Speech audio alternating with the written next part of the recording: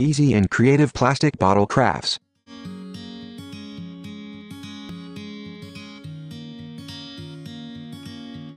Plastic bottles are found everywhere, filing up bags, cars and landfills.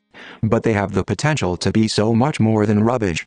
These 16 ideas for plastic bottle crafts will help you transform your plastic bottles into useful and beautiful objects. Next time you have some bottles, save them from the bin with some of these plastic bottle crafts. Simple plastic containers This simple project just requires a knife or scissors and an iron.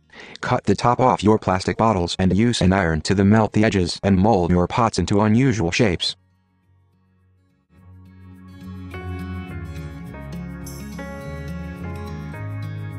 Plastic bottle broom If you ever find yourself needing a broom in a pinch, this simple DIY could be exactly what you need.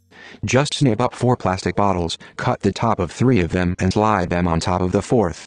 Cover with a final bottle top to hold it together, sew and attach to a stick. You are now ready to sweep to your heart's content. Plastic spoon and bottle lampshade Create a modern and stylish lampshade with a few spoons and a plastic bottle. Cut the handles off the spoons and, using a glue gun, stick them onto your bottle starting from the bottom. Once you've covered the bottle, cut a hole in the lid and feed your light fitting through.